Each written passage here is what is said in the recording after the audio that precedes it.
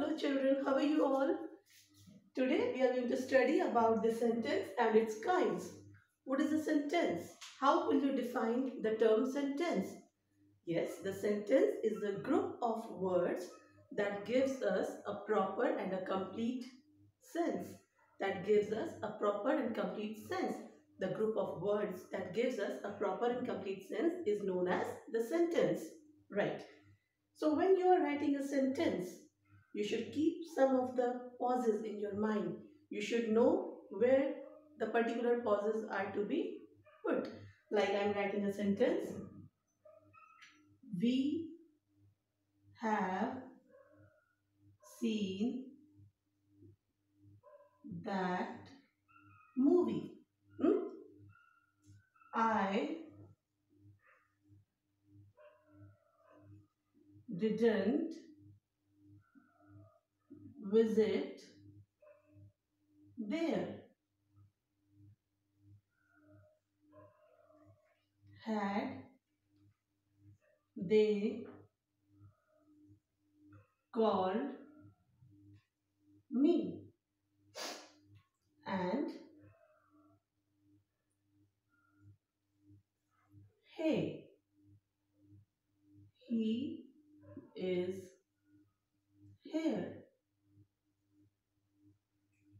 what a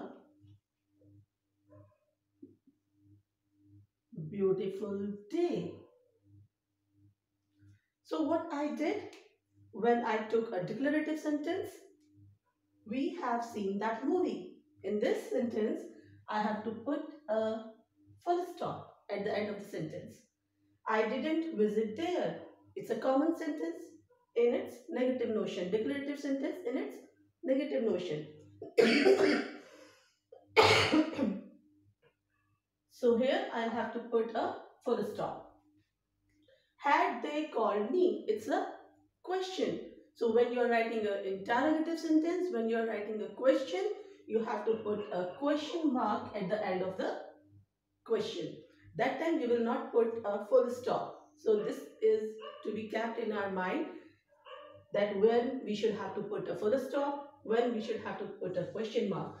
When we are writing some exclamatory sentences, exclamatory sentences which are having the exclamatory words and the sign of exclamation. Yes. So the exclamatory word, hey. Then the sign of exclamation. He is here. Hey. This surprise. It shows the sign of exclamation. Hey, he is here. Hmm? So this hey, the H is capital. All the first word uh, in all the sentences, the first letter is capital.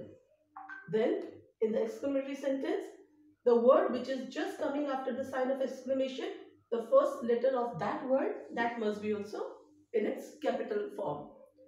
There are two kinds of writing pattern in writing the exclamatory sentence. One in which you are having the exclamatory words, another in which you're not having the exclamatory words, you are just putting the sign of exclamation at the end of the sentence. What a beautiful day! What a beautiful day! You're not using any exclamatory word in this sentence, but just the sign of exclamation is giving you the emotion, the expression, what you want to express. So these are the certain pauses which you should keep in your mind while writing any sentence. And now in the next video, we are going to discuss about the kinds of the sentences. That's all for this video. Thank you so much.